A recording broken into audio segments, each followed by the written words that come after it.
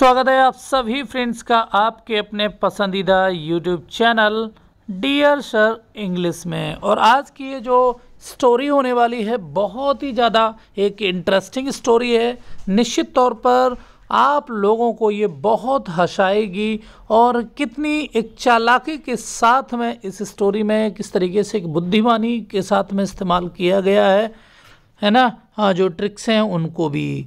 तो at last तक बने रहिए। स्टोरी है हॉट आयरन टेस्ट। तो कैसे होता है? गरम जो आयरन की एक जो हॉट आयरन टेस्ट होता है उसके बारे में ये कहानी है ठीक है?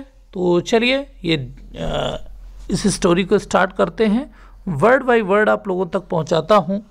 यस वन डे तो देखिएगा वन डे मीन्स होता है एक दिन है ना? वन मैन तो वन मीन्स एक व्यक्ति जो था होता था आदमी था वांटेड अब यहाँ पर देखिएगा बर्ब की सेकेंड फॉर्म लगी हुई है और कभी भी बर्ब की सेकेंड फॉर्म आती है तो पास्ट इनडेफिनेट टेंस होता है, ठीक है? टू पनिश ठीक है? तो एक व्यक्ति जो था वांटेड वो चाहता था टू पनिश तो फिर पनिश करना पनिश मीन्स होता है दंड देना, है ना?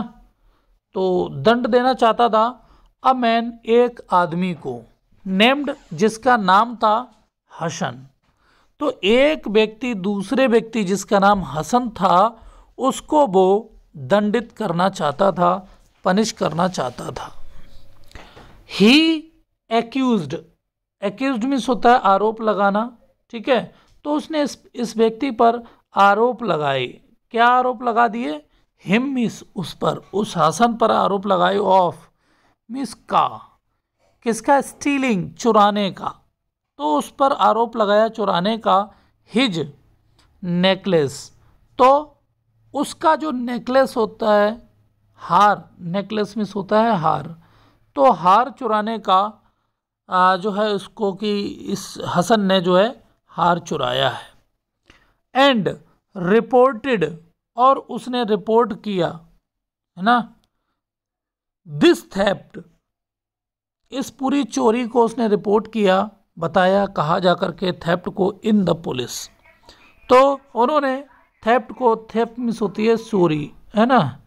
इस चोरी को जो है, पुलिस में बताया जा कर के द केस, और ये जो केस था, वो बाज ब्रॉट। ब्रॉट मीन्स लाया जा, लाया गया बर्ब की सेकेंड फॉर्म है है ना? लाना होता है। इन द जज कोर्ट। और उसके बाद में इस पूरे केस को जो है जज के सामने पेश किया गया। तो देखिएगा, जज जो था वो न्यू वर्क की सेकेंड फॉर्म यहाँ पर भी है पास्ट इंडिफिनिट टेंस है, न्यू नो की सेकेंड फॉर्म है, न्यू, हसन, क्योंकि वो अच्छे से जो जज थे वो जानते थे हसन को वेरी वेल बहुत अच्छे से। उन्हें अच्छे से मालूम था कि आखिर बात क्या है और इसमें हुआ क्या है। That he was not a theft कि वो जानते थे अच्छे से कि ये थीफ नहीं है मीन्स चोर नहीं है। उसने थेफ्ट नहीं किया, किसी प्रकार की चोरी को नहीं किया। ये जज को भी अच्छे से मालूम था, ठीक है? तो आप लोगों के लिए कॉफ़ी कॉफ़ी भी बिल्कुल रेडी है। This not need to worry at all चलिए, आगे बढ़ते हैं। सो ही आस्क्ड इसलिए उसने आस्क्ड किया। आस्क मिस होता है पूछना। द मैन उस आदमी से।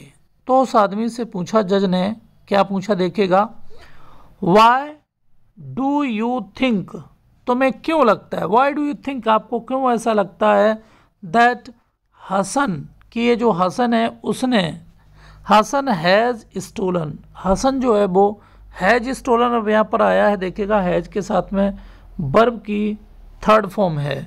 मीन्स आपका टेंस हो जाएगा प्रेजेंट परफेक्ट टेंस, ठीक है? हाँ तो हसन जो है हैज़ स्टोलन की हसन ने चुराया है, योर नेकलेस तुम्हारा जो हार है, उसको हसन ने ही चुराया है। तुम्हें ऐसा आखिर क्यों लगता है? प्रश्न किया जज ने। तो देखिएगा, द मैन, उस आदमी ने रेप्लाइड। रेप्लाइड मीन्स क्या होता है? उत्तर देना, यहाँ पर भी बर्ब की सेकेंड फॉर्म है तो उसने उत्तर दिया। क्या उत्तर देखे, दिया है? योर ऑनर है ना? महाराज, या फिर कह सकते हैं योर ऑनर जैसे उन्होंने कहा आई हैव सीन यहाँ पर भी आई के साथ में हैव सीन लगा हुआ है। प्रेजेंट परफेक्ट टेंस है। यहाँ पर भी बर्ब की थर्ड फॉर्म लगी हुई है। एज अब क्योंकि प्लूरल होने पर बर्ब की सेकेंड मतलब मीन्स आपका हैव लगी हुई है। सिंगुलर होने पर हैज़ लगता है प्लूरल में have I have seen him मैंने इसको देखा है. स्टीलिंग क्या करते हुए? चुराते हुए. मैंने इसको चोरी करते हुए देखा था. किसको? द नेकलेस तो जो हार था, उस हार की चोरी करते हुए मैंने इस व्यक्ति को देखा है. हसन सेठ तो उसी समय हसन ने कहा आई एम इनोसेंट मैं तो बिल्कुल, है ना इनोसेंट हूँ, बिल्कुल मासूम हूँ. मैंने निर्दोष हूँ योर ऑनर तो उसने कहा कि योर ऑनर मैंने किसी प्रकार की चोरी नहीं की, मैं तो बिल्कुल निर्दोष हूँ। आई डू नॉट नो मैं जो हूँ डू नॉट नो अब यहाँ पर देखिएगा डू नॉट लगा हुआ है नो वर्ब की फ़र्स्ट फॉर्म यहाँ पर लगी हुई है। मीन्स यहाँ पर पास्ट सॉरी प्रेजेंट इंडिफरेंट का निगेटिव टेंस है है ना? तो उसने कहा आई डू नॉट नो मैं नहीं जान जानता हूँ एनी थिंग मीन्स कुछ भी। एनी थिंग मीन्स होता है कुछ भी। ठीक है? मैं कुछ नहीं जानता हूँ। अबाउट मीन्स के बारे में हिज नेकलेस मैं इस व्यक्ति के जो नेकलेस है, उस नेकलेस के बारे में कुछ भी जानकारी नहीं रखता हूँ। मुझे कुछ पता नहीं है। द मैन तो देखेगा द मैन उस आदमी ने देन मिस तब सैड मिस कहा, है ना? तब फिर उसने क्या बोला? ऑल राइट ठीक है। है ना? उस आदमी ने कहा, ठीक है। इफ़ ही इज़ इनोसेंट अगर ये बिल्कुल बेकसूर है, इसने कुछ नहीं किया है let him prove his innocence तो इसको, इसकी जो इनोसेंस है, मासूमियत है, उसको कहीं ना कहीं, है ना? कि ये बिल्कुल बेकसूर है तो ये साबित करने के लिए भाई उसको ये साबित करना पड़ेगा। Let me bring let me bring the hot iron मुझे जो गरम आयरन है हॉट आयरन है, गरम लोहा है, उसको लाने दो, है ना? गरम लोहे से टेस्ट किया जाएगा। And if he can hold it in his bare hands और उसने ये भी कहा, देखेगा if he can hold it अगर वो इसको पकड़ लेता है in his hand, bare hands. Bare means होते हैं नंगे। ठीक है? अगर वो नंगे, ठीक है? हैंड्स, हाथों से अगर वो पकड़ लेता है उस गरम सोने, वो सॉरी लोहे को देन मीन्स तब तो आई विल एग्री मैं सहमत हो जाऊँगा। एग्री मीन्स होता है सहमत। ठीक है? तो मैं सहमत हो जाऊँगा। दैट की ही हैज़ नॉट स्टोलन कि ही हैज़ नॉट स्टोलन अब यहाँ पर भी देखेगा बर्ब की थर्ड फॉर्म यहाँ पर लगी हुई है जब लगा हुआ है, इसका मतलब टेंस हमारा यहाँ पर हो जाएगा past sorry present perfect tense ठीक है? माई नेकलेस कि तो मैं समझ जाऊँगा ही हैज़ नॉट स्टोलन किसने नहीं चुराया है मेरे नेकलेस को, मेरे इस हार को।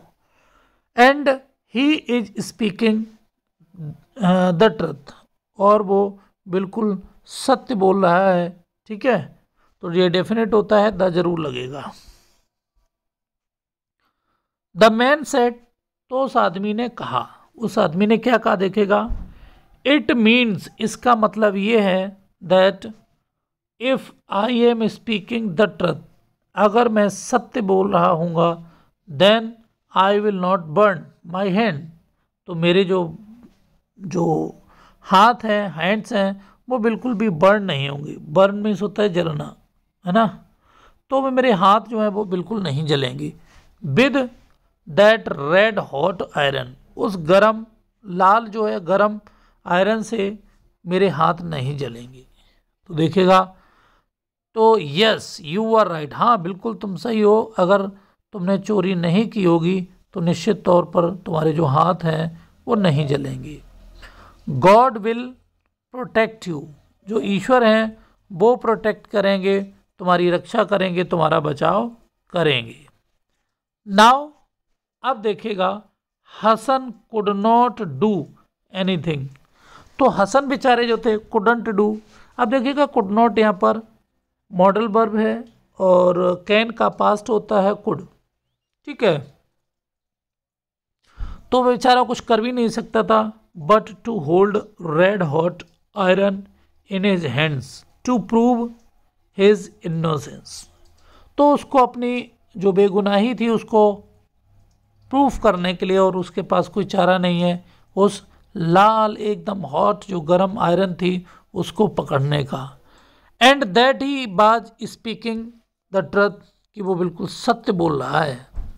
ही आस्ड जज तो उसने जज से कहा, पूछा है ना? आस्क द जज to give him one day to look for that necklace उसने कहा कि ठीक है, मैं एक बार पुनः अगेन जो है, घर पर देख करके आता हूँ कि क्या नेकलेस मेरे पास है या नहीं। एक बार सर्च करके आता हूँ।